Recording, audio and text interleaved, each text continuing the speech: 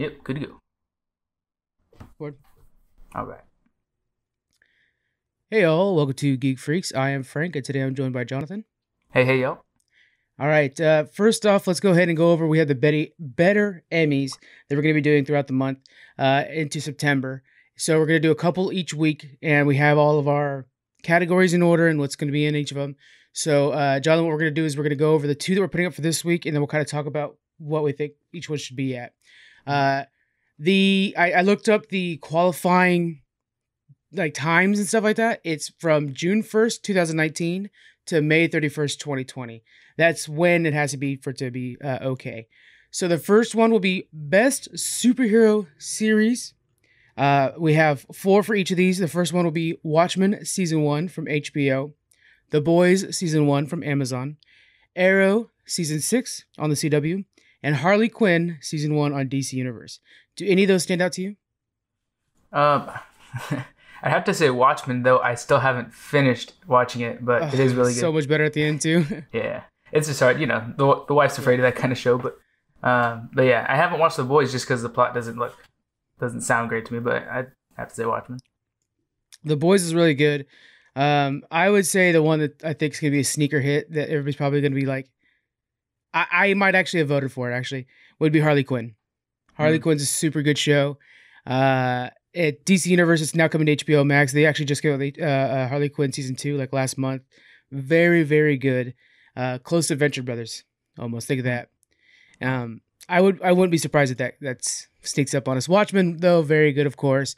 Uh, I actually like all these shows. So, and then Arrow's kind of, you had to pick one from the Arrowverse, so I went with the Arrow. But yeah. Uh, all right, let's go to best sci-fi. That'll be the other category you guys are voting on for this week. First, we have Picard season one from CBS All Access, Stranger Things season three from Netflix, The Mandalorian season one from Disney Plus, and Rick and Morty season four from Adult Swim. Now, Rick and Morty's only halfway through, I believe, on its seasons, but um, we have enough to vote for. Uh, what are your thoughts on these ones? These this is hard because these are all all Yeah. such great shows, and they're all so different. They're not like you know, it's not comparing a Star Trek and a Star Wars. Like I mean, it is, but not like tick for tat. They're they're different so much that you know you like them for different things. Right. Uh, but I'd have to go for Picard. I mean, they brought seven and nine back into the fold, so I can't betray my Really? my Jerry Over Ryan. Mandalorian? Like to me, I think Yeah. Mandalorian is the one that's going to be hard to beat. Baby Yoda's cute, but he is like just brought in to be to be marketable. I feel, and it's, it's a great show and, and entertaining, but I have to go with Star Trek. Yeah. Uh, my vote's probably going to go Mandalorian. Uh, Yeah. But Stranger Things season three, I think, really saved the entire season uh, series because season two was so bad. Mm-hmm. Um, and then Rick and Morty. This is actually everybody considers its weakest season. I still really enjoyed it, but yeah. So I think that's gonna be good to go. That's gonna be fun. Uh, okay, let's go ahead and do our quick Audible ad. We're gonna do this real fast, guys. Uh, guys, sign up for Audible.com or uh, sorry, Audible trial backslash Geek Freaks, uh, and you guys get one book each month for fifteen ninety nine, fourteen ninety nine, and then two uh, Audible originals. And uh, we're reading right now uh, Shadows Rising by Madeleine Roux. We're pushing back the book club by one week because Squeaks has his reservation or whatever that's called, you know, the military thing this upcoming weekend. So we're pushing it back one more week. And uh, so we'll do that next week. So you guys have two weeks now. You can easily catch catch up on the book, and then we'll have we have a uh, books we'll be voting for for next week. Um, we didn't have you on last week, John. Do you want to throw in your book that you want to put in there or no? Nah, Sorry. I'm, let's wait till I start reading that. one, and then I can give some feedback on it. Yeah, yeah, okay. I forgot to. I was like, well, maybe I should bring this up to Jonathan before we start recording. All right. All right, let's go ahead and get some news here. Spider Man is joining Marvel's Avengers, uh, but only for PlayStation. So we have Marvel's Avengers, this super awesome game coming up. We can't wait for. Uh, all the reviews that are coming in so far are outstanding about how each player feels unique and different. Uh, they look like they belong from a different game. I heard um, comparisons from I think a Kotaku article. Do I have it here? Polygon article. Um, that each character feels unique in the fact that like Thor feels like he's from God of War, and uh, you know, so everybody's kind of pulling from different places. And then Sony's coming out putting Spider-Man in the PlayStation only version, which really upsets me. I'm going to be owning a PS5, but I plan on playing this game on PC, and now I can't play Spider-Man, and it's even worse because he's super unique. Uh, do you think this is a good idea for them to make an exclusive character that's so important to the to the Marvel universe? I don't think so. I think it, it just devalues the Marvel universe, the Marvel game in general. It it makes Marvel look like they can't control their own, you know, game, their own uh, product. And so yeah, to me it just it kind of cheapens it. It's we're splitting hairs over which individual character in the game you're allowed to play based on what platform you buy it on. That's right. just petty. They're just being childish. Like yeah. if you're allowing Spider-Man to be a part of the MCU, it's everything, not just CU, but the well, Marvel. this is not. Yeah, this is not this, yeah. and this is with Marvel's approval. I mean, it's not like the the thing though is Sony does have the rights to Spider-Man. We have a Spider-Man game and stuff like that, so that's why it's like easier for them to do it. But yeah. I, in my opinion, it's like either have them, you know, have them early for PlayStation fans. I'm cool with that, and then eventually the rest of us get him, or don't have them at all. Like it's it. This is not even. It's not like a skin. This is a whole nother part of the game. Yeah, I think what would got would have gotten them a little bit less backlash, at least, is like you're saying, start without having him at all, and have him as a DLC only for PlayStation or something like that, so that well, he, he will, could be added he will be that. He will be that. Oh, oh, oh, okay. But the problem is, is he's going to come with his own missions. He's going to come with, you know, of course, his own playstyle. And for a big portion of the people, it'll come out like so. Hawkeye will come out. Then the next character after that will be Spider Man for only a third of your audience, third of the players. It just feels. But it's not something that every every PlayStation player will have, right? It's one you have to you have to pay extra to have Spider Man added to your game, right? Right. Yeah. Yeah. Uh, so I think yeah. that's it's still unfortunate, but it's a little more fair, I think. Yeah. Uh, so this is again, Sony has the rights to this. It's likely going to be probably closely designed to the Spider-Man from the Spider-Man games. They have the Miles Morales game coming up as well. Uh, so it's likely it'll look like that. It'll probably have that same costume on. Um, although Crystal Dynamics, the guys that are developing this game, says that they're excited to have their own version of Spider-Man in the game. We'll see how it goes. There might be, might be a skin or something like that. Uh, this, oh, here it is. Here's in the notes. Uh, coming 2021, he will be offered free if you have the base game. Okay. So it's even worse now. Now I'm even more yeah. upset about this. Right. I, if it's a skin, I'm totally okay with it, or if, or even early access for PlayStation guys, I'm fine with that. But it just feels like uh, it's too big of a character. Make it somebody nobody cares about. Like not not that nobody cares about him, but like maybe She Hulk. She's not a very big character. Sure, she's a PlayStation only, but Spider Man might be the biggest Marvel character.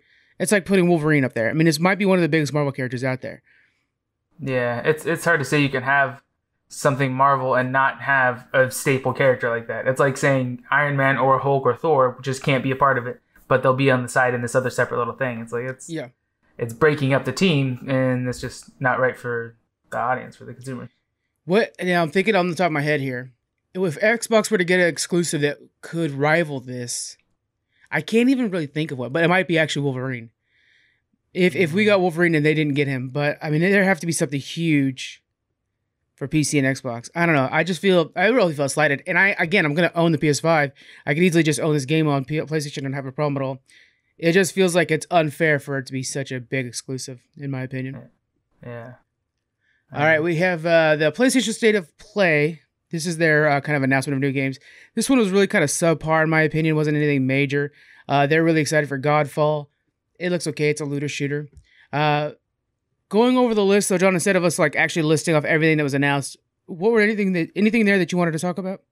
Uh, one that I was watching that looked pretty cool was the Pathless.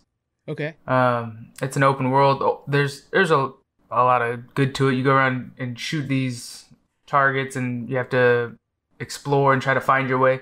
The, one of the coolest things is that it doesn't have a map. It's a big open world game, and you have no way of knowing where you're at, which kind of reminds me of Minecraft when you start exploring and you kind of get lost and you have to hopefully find your home where all your stuff is. Um, but you can do like this spirit vision or whatever, so you can see you know through the trees and stuff. You can see landmarks far away. Um, so I thought that was kind of cool. And, and the whole game, you have this uh, hawk with you or eagle. Well, I think it's a hawk. Yeah, yeah, some um, sort of um, bird. Yeah. And it seems like it's like a spirit animal or something. Mm-hmm. Um, but there's cool looking bosses and, and and all kinds of stuff like that. Only thing I don't like about the game is, as notice this, noticing this when I was watching the the trailer about it, is uh, there's these floating like gems or whatever they call it. You have to hit to gain energy throughout the game, and they just don't fit well with the terrain. To me, they just stand out far too much. That if they were a certain kind of flower that was growing and you would shoot it and pop it and it would release some gas or something, at least it would be a plant that's growing in the earth instead of just a mystical gem that happens to be floating and they're scattered yeah. across the map. So Uh, that was kind of a. It feels kind of old school whatever. to have like just a floating gem. You know, I don't know. To me, it feels like Star Fox when we could have now we have so many more creative ways of doing things that are yeah, very similar. something that can feel more natural. Yeah. But looks like a cool game either way. Yeah, uh, I'm excited for the new DLC for uh, Control. They're adding Alan Wake, which uh, he's the Alan Wake games have been free on Epic Games Store. and I think they've actually put one of them up there twice, um, so you guys probably get your hands on it for real cheap. But there are these games that are like in a Stephen King book where you're playing this character who's kind of going through this like mystery horror game, uh, and he's a really interesting character. Some the fans of him are like su- super fans. Squeaks is one of them, and they're adding him to Control. I think he's going to fit into the world quite well controls this beautiful uh, game with so many particle effects going on. It's just awe inspiring. So to see Alan Wake join the, the crew, I'm really excited for that, and uh, the new story too. Yeah. Anything else? Uh, no, I, I, I watched a little bit about that new Vader Immortals game. That looks pretty awesome too. Yeah. You, what, Um, what what is, what goes on with that game? What's the So? I didn't. There, I watched like the little two minute trailer, not the Right. hour long reveal where they break down everything in it. Um, but so I, just by the title Immortals, I imagine you must be, um, like a cyborg or in a in a drone or something like that. I don't know, but it, it just looks looks aesthetically pleasing. Looks cool. Um, Actually, I thought the- you were playing as Vader in that one. Am I not? I Well, you do use the Force, so I don't. I'm assuming you're Vader, but I don't. I think you're Vader resurrected. Um, oh, okay. but you have the power of the Force. That's what I'm thinking. You can't quite be a full drone. You must be like a cyborg. Like me and Vader was a cyborg to an extent. Right. Yeah. He was. Yeah. Um, but I don't know. I, I think I'm gonna try it out though. but Let's it is on the PlayStation only, so we'll see. Maybe Well, I'll. come on over to my house. Yeah. Literally. Uh, we have Auto Chess joining finally. This is, this is a big game on PC that everybody's been mimicking. It's coming October 31st. Uh, Temtem, a lot of fun. And so this is kind of like a, it's a Pokemon game. Uh, it's not, you know, not owned by Pokemon, but they're, it's a copy of it, but it's much, much harder. I'm actually stuck on the first dungeon or the first gym leader. And, uh, same with Daniel. I think Daniel actually got her down. I, I am still stuck. I can't beat her. And it's just crazy. You have to just go back and just keep farming and farming and farming until you finally get him down and uh, it's it's pretty intense. Um, is the one that everybody's talking about. It's this looter shooter. I think it's going to be okay. Uh, PlayStation has much better things to offer, in my opinion. Uh, we have Hitman 3 is going VR. Uh, you can actually play all three in the trilogy VR once this game comes out, which will be pretty cool. Uh, and then we have some more uh, gameplay footage from Crash Bandicoot 4. It's about time. If you're a Crash fan, I think this is going to be really good. It's actually following up on some of the best features that were in the past Crash games. So we're getting, you know, quite a bit of cool stuff. Uh, but yeah, then there's one game that we want to make sure to really bring up here is Aeon Must Die. It seems like a pretty basic game. It's like this 2D fighter game. Uh, kind of think like the old school Street Fighters kind of thing. Pretty simple, right? It's developed by Limestone Games and published by Focus Home Interactive.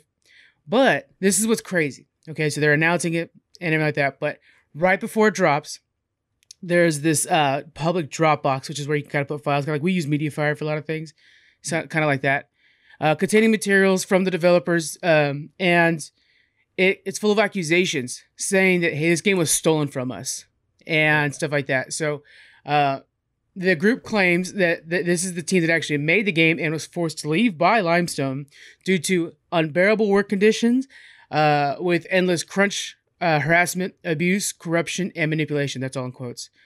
Uh, they also claim that the company uh, and the entire IP was uh, covertly taken from the founder. Uh, it's infringement of on the IP of people who have worked on scenes from uh, from it without contract or were not paid at any point. So it's a group of about twelve that are um, really pushing on this thing, saying that that was taken from them they have a lot of good proof. They actually released a version of the trailer as well on a, a like a YouTube channel they made themselves, and it's missing a couple scenes, but it is essentially the same footage. Uh, so there might be some scenes that were added in that were made post. Uh, they uh, they also accused the Limestone Limestone CEO Yaroslav Lysek Lyseko, we'll go with that, uh, of sending threatening letters and unlawfully firing everyone right before they had like this agreed uh, resignation date. There's like so much going on. They're like, we're going to resign. He fired them all to mess up their benefits. Uh, so there's that going on. Uh, it's kind of a mess. What do you think's going on with this? Do you think that they just like totally just push everybody to the brink when they asked for assistance in pay? They dropped them. Do you think that's what's going on here? I think yeah. I mean, it's was that here in America? Is this not a foreign co- company? I think it's a foreign one. Yeah, I'll have to look it up. But yeah. Okay, I'm like, we have so many laws against this kind of treating your employees. It's Yeah. ridiculous. But yeah, if it's not here, then Lord knows what they allow. Uh, but I think that's ridiculous. I think as Americans, with our standards of work environments and you know how you need to treat your employees, I think we need to boycott buying this game until this this case is settled and these employees are are you know LA. compensated for their abuse and neglect and losing their jobs and everything. And then if they're, you know, whatever, satisfied, then sure, sell the game and everyone buy it. That's cool if you want to support it. But Yeah, yeah, we can't encourage that kind of definitely. any game that's being produced by that kind of mistreatment. Then, uh, yeah, we don't want to endorse that. I fully agree with you. Uh, apparently, they are from LA. So in America, there's definitely ways of getting around these protections, right? You could, that's why they're able to sue. They're they're they're in the middle of lawsuits and stuff like that. Uh, well, they, they've they they were saying that basically they have tried all the legal avenues, and at this point now that they're just going to the public to kind of show their case because Yeah. they're hitting against walls. Um, but they are, but Limestone is in LA, so presumably everything is. Um, yeah, I, this is where the consumers need to step up and like, if you don't agree with these work practices, which I don't personally agree with that, I think we need to fight crunch culture as much as possible.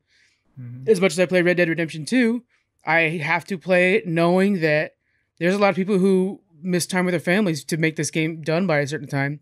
Uh, and so I think we need to be smart about this. If you really feel strongly against crunch culture, don't buy this game. Don't participate. Uh, if you do, then you need to buy it with the knowledge that you are buying a game that was made uh, under harassment. If this is true, so uh, we have, of course, Limestone came out and said, and uh, so did um, Focus Home Interactive, which is the publisher, saying that as the publisher of the game of this video game, Focus is carefully looking into these allegations and will draw necessary conclusions if they are proved to be well founded, and uh, then take all appropriate measures. So the publisher is saying they're going to look into it, and if the developer did do wrong, Limestone, then they'll take actions afterwards. Uh, yeah, I don't know, man. It's one of those things. I, you hate to hear about it. You know, you don't want anybody to feel like they're being worked to the bone to hit a certain deadline. Yeah, It's unfortunate that that's how it is, though. yeah, or being threatened and harassed at work. Yeah, yeah, cool. they're they're abused and everything. So, uh, Yeah. we're gonna keep an eye on that one. It's it's a small game, but doesn't matter. It should still, you know, yeah. keep, we'll keep an eye on that one. Uh, we have another thing to announce. We got Pikmin 3 Deluxe is heading to the Switch. Uh, Nintendo announced Pikmin 3 Deluxe will be coming to the Switch on October 30th. So that's real soon, really. Uh, this is an upgraded version of the 2013 game uh, with additional difficulty modes, missions, and all the DLCs that were uh, originally released. You will also be able to play for the first time in game co op uh, with your friends. Uh, you should be able to do it online and couch co op. I've never played a Pikmin, but I've always wanted to play a Pikmin. Uh, I don't think you're familiar with this, right? Because we never had Pikmin growing up. Yeah. No. So the idea is that you're like this little dude stuck on a planet, maybe even Earth. Oh, I don't know. well, no, it has to be another planet. And there's like these little bugs that are helping you out, different colors, and different colors are good at different things. And you're basically trying to find a way to leave the planet. Uh, it looks really neat, and the upgraded graphics look outstanding. They actually look almost claymation. They look really good. So I'm excited to pick this up uh, as a first time player and uh, and get back into this Pikmin world and check it out. So uh, you guys can check that out October 30th, and let us know if you've played Pikmin in the past, what your guys' thoughts are. Maybe we can get some. I don't want to say emulations, but you know, we'll find a way. We'll find a way to play that earlier games and maybe we'll review them on the way up to this. They're pretty fun. Uh, what games have you been playing recently, John? Um, not a lot. I've been playing Satisfactory like crazy, but I'm kind of ready to, yeah, kind of ready to try something else out. Yeah, I took a break on Satisfactory.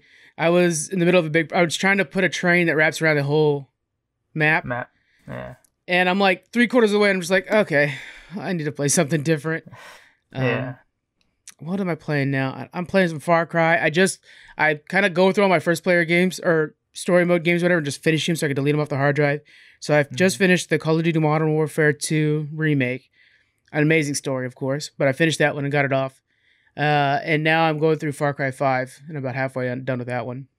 But yeah. Uh, we're going to talk about Fall Guys later on. I think that's a good game for you to pick up. That's a lot of fun to play. Check that Alright. out. Uh, the other game you should be playing, and I as well, is Overwatch. Overwatch Yeah. Summer Games is here. the event runs from August 4th to August 26th and includes Lucio Ball and many skins.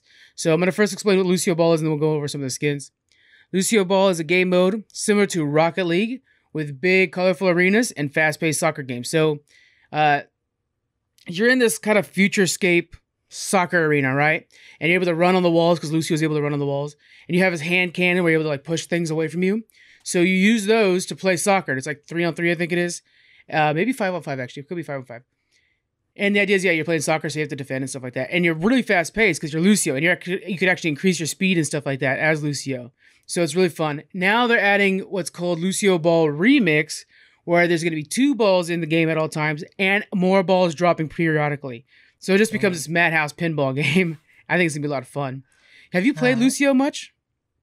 Uh, no, I, I've well, I mean, I've tried several times, but I'm pretty terrible. You're mostly a DPS, aren't you? Yeah, yeah. I try to stick to the same like two or three people and and not mix it up too much. I die enough as it is with them, so since I play so infrequently, uh, I gotta try to practice. it's a bit since I've played with you. What, who, who are your mains? Um, Soldier seventy six and Reaper. You know, and I. Reaper. Reaper. Yeah.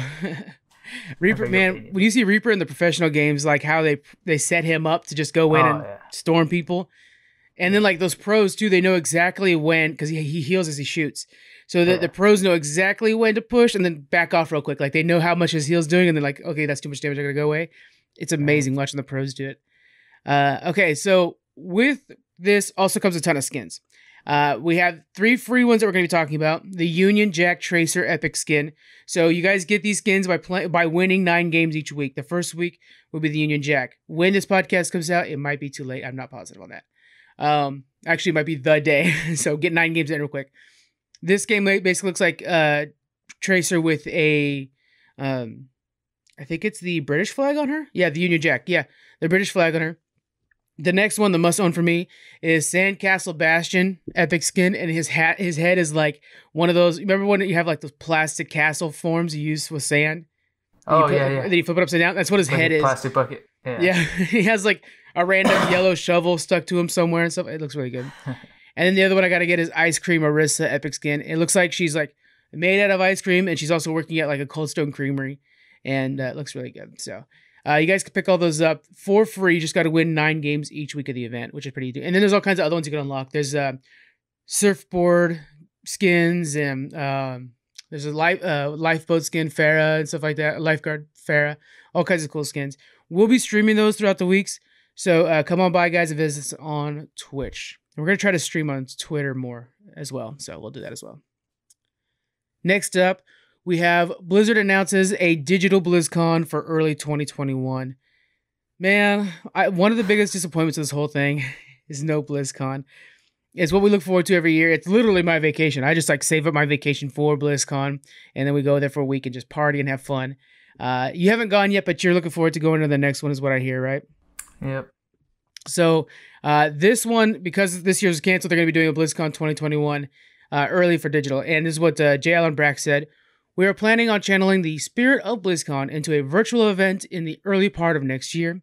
We're really fortunate to have a passionate and engaged community that's really looking forward to what we're creating and what we're working on. And we're looking forward to sharing that. Sorry. And we're looking forward to sharing what the teams have been working on for that event. So that's from J. Allen Brack. He's the president of uh, Blizzard. Um, so let's think of what we could have announced here at during this thing. We got during the 2019 BlizzCon, we got announced Overwatch 2 and, and Diablo 4. So I'm assuming we're gonna get like release dates for those, right? What do you think?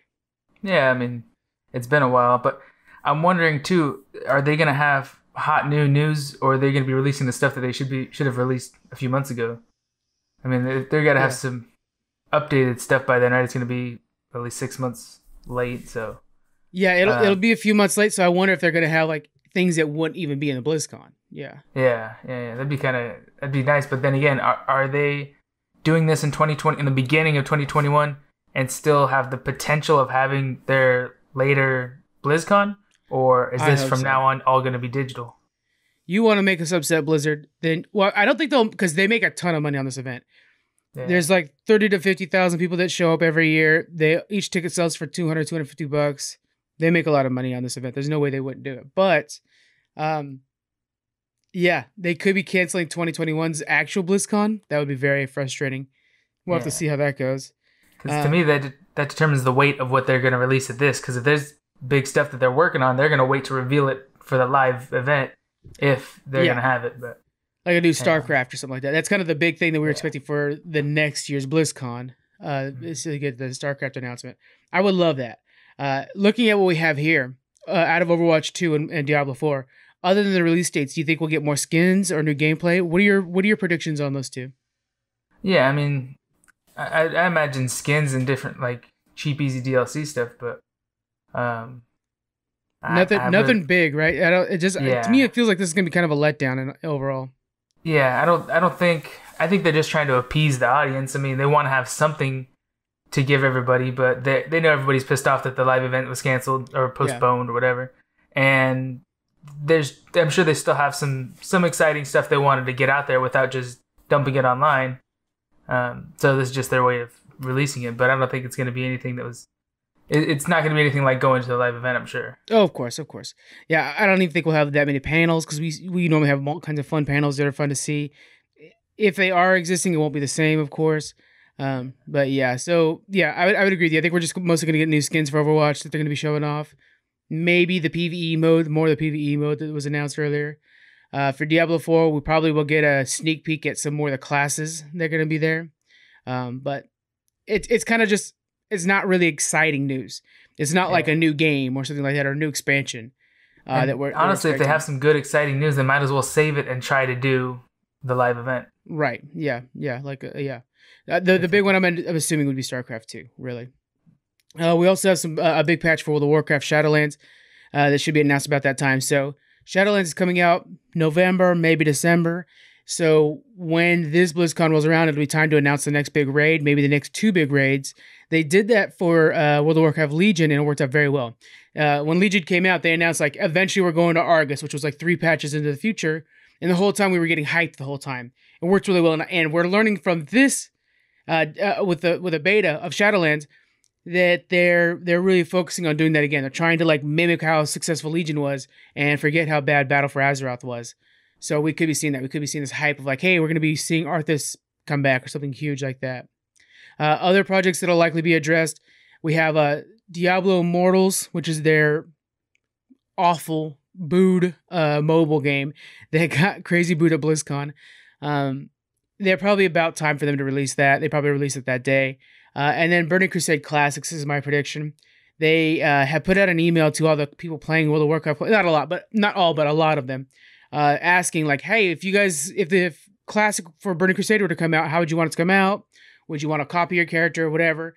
Uh, showing that they are working on a Burning Crusade Classic. Classic is hugely successful, and it's actually made Activision a ton of money, and so uh, I could see them announcing that as well. That'll probably be one of the big announcements. But yeah, it's just not the same, and and we're really looking forward to Blizzard BlizzCon, the next one we could actually go to. This one we will still do a daily uh, episode for. If it's like a three day event, we'll do a daily episode for that. That should be fun. And then it's probably going to be a virtual ticket. Actually, now I'm thinking about it. I wonder if it's free. Depending no- on how the you know pandemic's going and everything, when this time comes, it'd be cool if, if things have uh, cooled down and and whatnot. Uh, if like local comic book shops or something like that would host a small event to uh, you know invite people to come and watch it there, do games and stuff there too. like the GameStops could definitely do that for Yeah. sure. That'd be Yeah. cool. Maybe what I'll do is I'll set up that projector we were talking about in my backyard and go. make it a big party. That'd be cool. All right. Uh, we have Project xCloud app getting blocked by Apple. So the Project xCloud app, this is the app that's going to let you play your Xbox games everywhere. And um, the idea is that you're streaming it with the, like you do with Stadia. It's Project xCloud for Microsoft and Xbox. So um, Apple has confirmed through Business Insider, their website, uh, that they will uh, not be supporting the game uh, game streaming services like Stadia or xCloud on the iOS they they released a statement that basically said that they're meant to be a safe place for both the users and the developers. They didn't really give any like specifics. It was really weird. It was kind of like all this like legalese, kind of like PR. We're we're a good company, but not giving actual spe- specifics. But the people that are kind of close to Apple say the reason for this really is because you can't review. Uh, say say okay, so say we're playing Sea of Thieves, um, and you want to play Sea of Thieves through the iOS you can't leave a review for Sea of Thieves on Apple's products. You know what I'm saying? Yeah. So, like, if you were to download an app from the App Store, it has reviews for it, but you can't do that for like Sea of Thieves because the review is for the Xbox app, not for Sea of Thieves. I see. And Yeah. that that seems like it does kind of open an avenue for liabilities and stuff because at which it's the internet, everything's out there, but um, Apple would have no control or regulation of any of the content coming in and out of their system anymore. So when you download an app through the through the Apple App Store, you know they've gone through it and approved it, and they know it inside and out. So now it's it's a Apple authorized app, and it goes in their store. If you have something like this, then content can be pushed in and out with an open door, and they have no Yeah, no regulation and no way to make any kind of money on it too. that's very true. The way you put it, open door is a good good way to put it. Because yeah, the app is the open door, and through that app you could play M-rated games as a kid, Mhm. and uh, whatever's available on the on the. Yeah, it's too bad that you couldn't have to like approve it on the PC first or the Xbox first, then have access to it on your phone. Yeah. I don't know. They, they would just have to partner with with uh, Apple and have their app made like through them or integrated so that each game that you want to play would be certified and all that Yeah. jazz. That's actually a good idea. Yeah, because they have the Apple Arcade. Maybe they could make it part of the Apple Arcade where like each game gets its own reviews. Yeah. That's a good idea. Uh, okay, so Xbox says that they will not be able to uh, bring the Project xCloud app to the iOS under these circumstances, uh, but they're going to continue to working on Apple's approval. So this is from the statement that they made to uh, TheVerge.com. Unfortunately, we do not have a path to bring our version of our vision of cloud gaming with Xbox Game Pass Ultimate to gamers on the iOS via the Apple App Store. Apple stands alone as the only general purpose platform to deny consumers from cloud gaming and game services like Xbox Game Pass. We are committed to finding a path to bring cloud gaming with Xbox Game Pass Ultimate to the iOS platform. So that's another big thing, too. It's not just the ability to stream, it's the subscription because you subscribe to Xbox Game Pass like I do. Uh, and that's something that normally, like even Hulu and stuff like that, they want you to do that through the, the iOS if possible. So there's all kinds of little legalese going on here Yeah. the it's it's a little tough. I, I'm an Apple owner, man. I really and I love my iPhone. This is the first time where I'm like, you might tempt me another way because you guys are not playing ball with Xbox. I don't know. What do you think?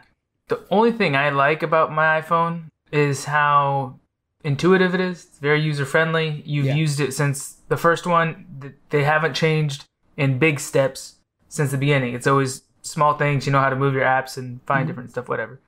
Uh, but I don't like that. That's I mean that's the staple issue with them is they don't interact with anybody else. They don't play game with anyone else. You have Yeah. all of their products or you have none of them because they won't work with anything. So I think hopefully this puts some pressure on Apple to be a little more open to what the consumers want and Exactly. make their.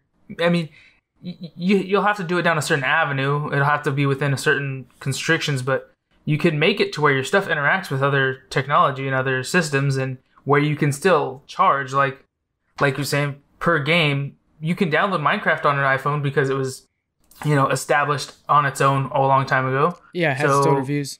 Yeah, yeah, you could do that with each game independently so that you have the control, but I know that they want to be able to still keep their thumb on it. it they don't want to, their phones to be like, like a jailbroken phone or something, but that's a good way to Um, put it too. Yeah, also Microsoft could say, you know what, okay, you're we have we have the money and to to work with this. If you guys aren't gonna play ball, then we're gonna have to start competing on the phone phone uh, platform too, and start making their own. You know, slow down on the developing more Xboxes because we know that's Yeah. just going to PC, and focus that attention into making mobile devices.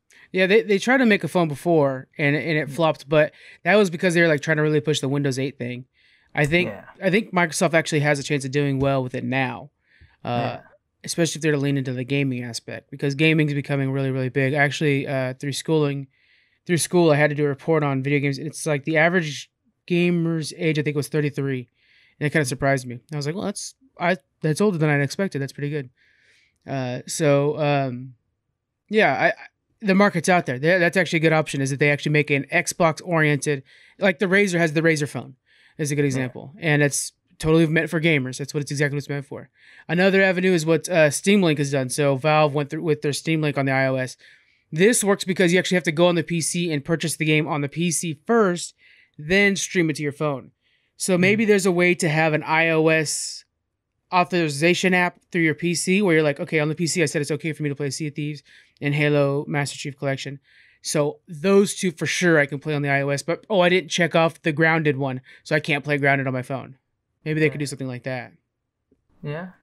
Through your iTunes on on your PC or something. Yeah, iTunes gonna link into it or something like that. Yeah, Yeah. I gotta update iTunes all the time. Right. so bad about that. all right, Walmart is launching a uh, their drive-in theaters. This is kind of crazy. Uh, we just went to the drive-ins yesterday, watched some Black Panther. That was a lot of fun. Uh, you guys stuck around for the second movie, right? All the way through. No, we started it. I didn't realize I had it wrong. It was I thought it was gonna be Jumanji. It was uh, Spider Man into the Spider Verse. I thought it was that one. I thought it was that one, and I was like, "That if it's that one, that one's worth staying for because that's super good." Um, Yeah. it's the, probably the, probably the best Spider-Man movie there is. But um, but yeah, you guys didn't stick around. No, we stayed for like 20 minutes of it and then packed up and left. Yeah, yeah. Uh, well, Walmart's doing their own drive-ins now. It's a good way to be socially distanced and stay safe, but still enjoy the movie-going experience. Uh, they're launching it from it'll be from August 14th until October 21st, and it's all starting at 5 p.m. It's probably going to be extended, so it's October th- uh, 21st for now.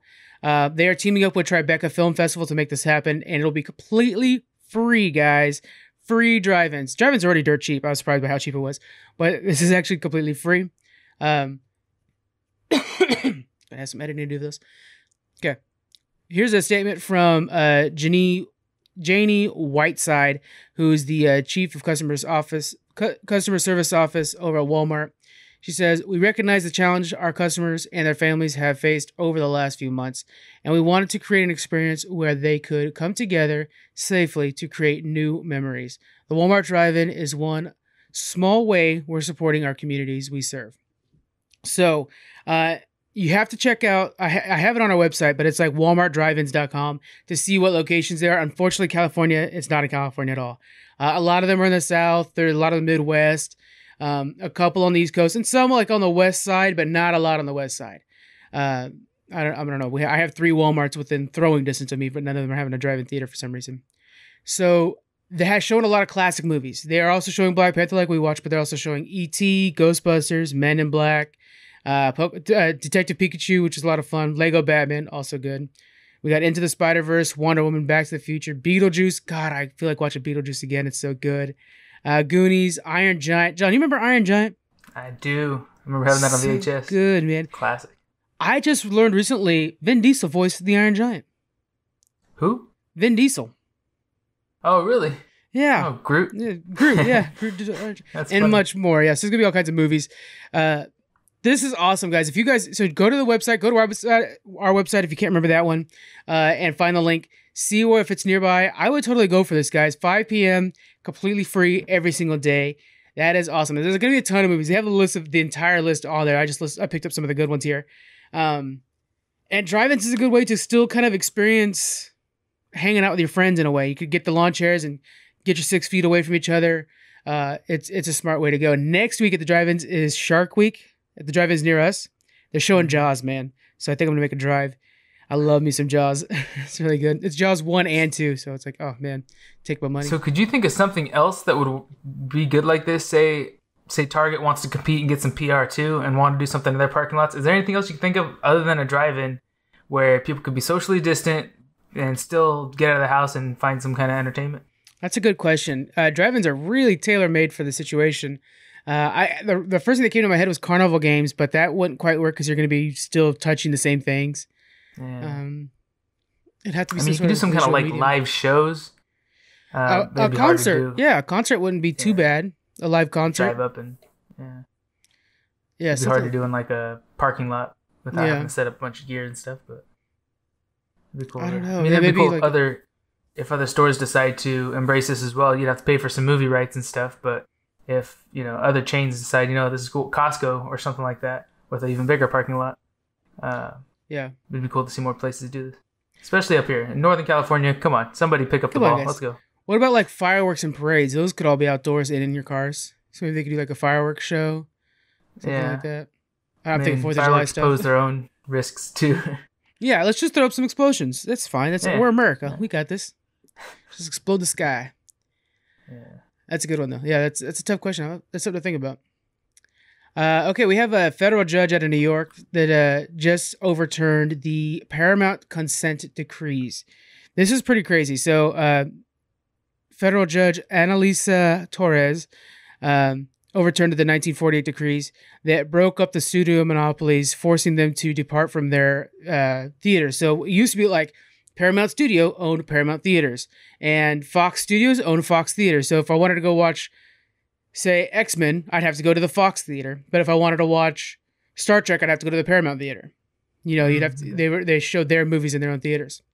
Uh, and she says that the reason she did this, so this was originally meant to break up the monopolies, but she's doing this because she feels like, first off, it's kind of antiquated now. No theater is going to want, no studio is going to want to go out and invest in theaters. They're a dying market. So she kind of knew that like that's, that's a waste to even have this law in the books for that.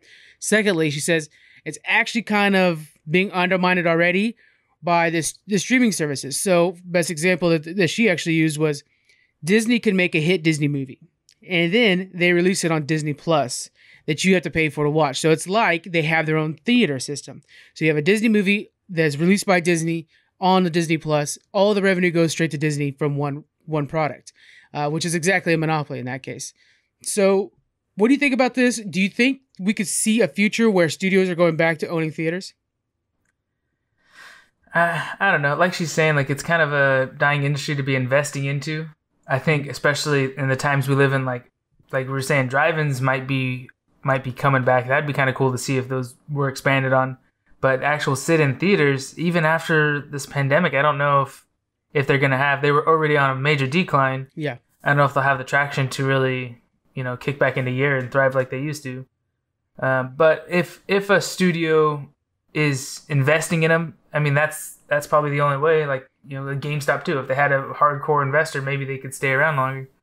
So, I think if they're going to survive, that's that's kind of their only hope. But is to start I don't know, like you're saying, like with the actual studio. Yeah, yeah. All these streaming services, though, who's who's going to want to go to the theaters when you can just watch it at home with your family and you know cook yeah. your own food and it's kind of easier. My but big, where they where they might sorry where they might have it is is um, vintage movies classics. If you want to pay yeah. five bucks in the mid afternoon and go watch whatever, or pay a membership and have unlimited anytime you want to come in and out, and there's all kinds of older movies playing, that might be good for a lot of people. But I think for the hot new blockbusters and stuff, the the hype of sitting in a movie theater is kind of kind of gone away. I think. You're right. Yeah, you're right. There's there's and and I think COVID really knocked it loose a little bit because um, we we saw fiscally that it's actually quite sound to not use theater system. Uh, because of COVID, we had a renegotiation. We talked about this last week uh, of the new theater window. It's now 17 days in, compared to the three months it was before. Um, so we COVID has hit the theater system harder than probably any other industry, and actually has changed it for the future. Right. Uh, I like the idea of them showing retro movies, but we could have that. We could have where if Paramount owns theaters again, only Paramount movies are in there. I will actually wouldn't mind that because I like watching retro movies, especially in theaters, even better. Um, that's a good way to kind of bring some money back into the things. I I still think we should have kept this on the books though because I'm really against monopolies as much as I do like that Disney owns Marvel and Star Wars. Don't get me wrong, that's real bad, but the idea of owning the entire supply chain is really that's that's the big problem right there. Uh, so I think it should have stayed in the books, even though it seems antiquated. It doesn't hurt to still be in the books because uh, we actually had a situation a few months back where Amazon was thinking about buying AMC, and if that happened, Amazon could produce movies. They already are for their own Amazon Prime, and then release them straight to theaters. They could say they say they make the next season of Boys, and they're like, "Oh, look, we have the new season of Boys. We're gonna do the first three episodes in theaters, and then you can watch the other episodes." That's creating the situation where you have such a tight supply chain that's all Amazon owned you'd have to break that up with an antitrust law. You know, that's that's where that law needs to be kicking in place. And that was that was potentially going to happen under this law. Without this law, there's nothing stopping them. So it's real shaky grounds. I don't know. i don't, I don't get what's the problem of having that that tight supply chain. I don't get it. Well, then then you because if you have a tight supply chain, if you own everything in the supply chain, right? Uh, then if, then you can drive out competition in different spots. You could change the employee pay and stuff like that, yeah. and make it to where you can't be competed with, and then you can increase prices. Yeah, so you you true. you could drive prices down so much, and you could lower employee wage and everything like that so much, uh, yeah. and then eventually once everything's up, then you just increase the price because you want everything in the supply chain. You want a product, you literally can't have any other option. Uh, every time we see it, there's always a lack of innovation from it good example is we had this with uh, DC and Diamond. We talked about them a few times. Uh, Yeah. Diamond No need to distributors. compete- to compete. Yeah. So then Diamond Distributors was still handing out comic books with the old, like you'd actually like send in paperwork saying like "Ah, we need these comic books, or would call in and make your order. Instead of having like a nice kiosk where say I go in and I want the upcoming Negan Lives three, I can go to a kiosk and that can't happen under Diamond Distributor having a monopoly because they're like, nah, we liked the way it worked in '93. We're gonna stick with the '93 model, and they were. That's exactly what they were doing. Um, so th- there's all kinds of hampering that happens with with monopolies, and I think this law should have stayed in place. Um, but there's a good question there: Should we look at Disney or any of these other companies having their own streaming service and production company? Could that be considered a monopoly future in the future? Uh, Well, so I don't know. It wouldn't be a monopoly because they don't own all of movies, right? Just all of their movies and how they go out. That's that's it right can- there. Yeah. So if and you can Netflix buy- were to drive out everybody, then that's a monopoly. Yeah, like yeah, streaming services when Netflix was the first. If they were the only ones to have it and only ones who could have it, then yeah, it's a monopoly. That makes sense. Yeah, so I think Hulu for a long time kept them from being a monopoly, and now we have a bunch of streaming services. But it was like basically Netflix and Hulu were the only two out big dogs out there. Um, that's that's it. That's a very good point. Okay, that's it right there. Huh, interesting. It's an interesting thing. We're in a, we're in such a time of change in the film Mhm. industry and and TV industry. Uh, it's neat to see what pulls ahead and and Yeah, what's going to come of this. And you got to weigh the pros and cons because like I kind of I don't want to see movie theaters gone completely. You like to go every once in a while, but you don't want to go all the time. You don't want to pay you know fifty bucks every time you go to the movies or something like that for one ticket. So is this what it takes? Would we have to sacrifice a little bit of that that uh, whatever you call it, that competition and everything hmm to keep them alive so they're there when you want them, or is it worth just everyone's got to have their opportunity? So let's just let them die. So Yeah. know. it's hard to say. It's hard to say. What I had told Squeaks last week was uh, I think movie theaters should be similar to the way that comic book the- uh, stores work, to where uh, me and him we both have like Marvel Unlimited and stuff like that in DC Universe, so that we could read you know every Flash we want to. But oh, there's a new Walking Dead colored book that I want to get. That's all in color. I'm gonna go to the, the comic book shop and pick that one up. It's a bit of more of a collector's item. So maybe for so the way that would work for movies is oh, the next Trolls movie's out. We'll watch that at home. Like, oh, the next whatever. Oh, but wait, I want to watch Black Widow in theaters. So that one I'm gonna go to the theaters for. So maybe you go for like the special movies to the theaters, but most movies you can watch at home just fine, and you'll pay the extra money for it at home. I think that would be fair because we, I mean, we have eh, near me. I think I have like seven theaters within 25 miles, 30 miles of me. Mhm. I mean, that's just too many. That doesn't make sense to have that many theaters, in my opinion. I don't know. Yeah. All right, last bit of news. This is real exciting. We have Animaniacs reboot coming to Hulu. Uh, this is going to be produced by Steven Spielberg and uh, and done through his Amblin studio again. It's going to be 13 episodes, the first of which is going to be premiering on Friday, November 20th. Animaniacs, fantastic series. Uh, we had Pinky the Brain come from them and all kinds of other things. Uh, I love this series, man. What's your favorite like mini sketch from this series? Uh, the little girl um that With the big keeps dog? asking questions. Oh, okay. Yeah. Yeah, Yeah, that dog was Uh, like trying to take care of her, and she like walk off, do stupid stuff all the time. Oh, yeah, yeah, yeah. yeah, Uh, and Pinky and the Brain is you know hilarious, course. classic. of course. Uh, I you? liked uh, that old. I think it was an old chipmunk that was like this cranky old chipmunk that would like um tell kids to like ah kids you don't know how good you have it. She used to have that kind of a voice or whatever, and she'd just be a pain in the butt. And there was these two hippos that were like too rich, and they like lived in posh hotel, uh, posh studio and stuff like that. It would be all like treadmills or whatever. They were really fun too. I, there's all kinds of small little sketches. I, I'm excited to see these characters come back. Um, Yeah. There was that one chicken. Oh man! And as as a kid, I didn't understand how hilar- hilarious it was, but as an adult, I do. Where they would have like entire movie scenes, but there was this one giant chicken just standing in there, and it'd be like a western, and the giant chicken would walk in and like, "No, not you again!" And like they, they'd like, and then like the chicken like, and like those are fighting words, and like they would have a whole movie scene around this chicken just standing there, and he would walk off, and it was like he killed fifteen people. it was like these weird things that would happen uh, with just a chicken standing in the scene, and so um, as a kid, I was just like, Meh, it's a chicken. And now I'm just like, oh, that's a commentary. like, there's so many things you can read into it now uh, that I'm pretty excited about. It's, it, I'm glad to have Animaniacs back. That's classic. Is there any, okay, outside of Gargoyles, okay, well, it's been a bit since we've actually mentioned Gargoyles. That's pretty good for us. Outside of Right. Gargoyles, what 90s cartoon would you want to see a reboot of? A reboot, '90s cartoon. Mm, maybe Hey Arnold. I think they could do. I think they could do actually a, a cool live action version of Hey Arnold nowadays. Yeah, that's a good That'd idea. probably popular. Yeah, that's a good one. I, I wouldn't mind seeing uh Hey Arnold's a good one. Actually, now I'm thinking about it, you could actually kind of really modernize it with everybody's got cell phones now and stuff like that. Yeah. As- I was good. thinking Doug, but basically for the same thing, because now like Doug's all about like having kid problems and growing up in this world and using your imagination to escape it. But uh, Hey Arnold does the same thing, where it's kind of this like you're just an average kid trying to just get through everyday life. So it's Yeah. pretty good. Hopefully we see more. Animaniacs is a classic, so it's always good to have that one back. All right, Mhm. guys, that's it for the news. But we're gonna go off real quick with the fall uh, Fall Guys game uh, review. So, Fall Guys came out on the third. Uh, just a quick premise of it: it's this thing where you have sixty people go into these little mini games. There are races, soccer games. It's really kind of fun and weird.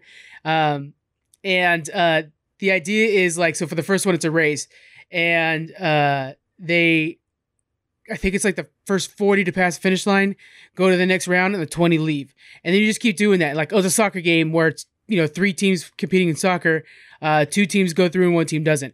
To where eventually you're the last guy standing out of sixty, and they're all these dorky, weird games. You're like these big giant bean characters that are kind of like fumbling around. It's a lot of fun. Um, this game's only 20 bucks and it's taking the internet by storm. People are going nuts for this game. Uh, I gave it a B on our Instagram. You guys can check out the Instagram uh, grades. I gave it a B, but really it's it's could quickly become an A. Um, one of the big the reasons it got to be is because you could queue up with I think four players, um, but there's a way to get around it. So I was playing with six, which is really you got to play with friends, guys. With friends is where it's at. Um, you check to see like oh our loading screen says that it's at 54 and at 55. If the other guy has the same loading screen numbers, you're on the same game. It's real, real kind of weird that way. Uh, but it's a lot of fun to watch. It's super fun to watch streamers play it because it's just wacky fun and it's weird. It's got like it's hard to explain because it's just a bunch of look like like jelly beans running around with weird costumes on because you can unlock costumes as you go. I have like a big wolf mask on right now, but I really want to get the pineapple. Um, it's a lot of fun. So I'm giving it a B. You guys check it out. It's only 20 bucks. It's Fall Guys. I know you've heard of it because the internet is blowing up over this game. It's so huge right now. Came from Devolver Studios. They always make good games. This is actually just got announced today. Their uh, best-selling game, uh, launch game, um, and it's uh, it's actually free on the PlayStation. Thank you to uh, Wednesday Pool List. Guys, check out Wednesday Pool List. Uh, they're on our Twitch right now. They just gave me a reminder of that. So it is free on PlayStation. 20 bucks on Steam. And uh, if you guys play, hit me up. Um, We're always we're to be streaming that. Uh, we're always down to play that. We're to be streaming that next Friday. Yeah, Community Night Friday is to be Fall Guys. So come by by and see all the streamers playing that. Uh, but that's it for the podcast this week, guys. So, uh, Jonathan, anything else you want to leave the fans with? That's it. That's all I got. Yeah, just go check out audibletrial.com backslash geek freaks. I think that's about it. All right, guys. Uh, kind of a short one for us this week. Just been crazy. But we'll be back with you guys next week. Remember, we got one more week. We're extending the uh, book club one week. Uh, and then get in on those votes for the two Emmy noms that we're putting up this week. Uh, and we'll see you guys next week. You'll have a good week. Bye. Bye. All right, stop the recording.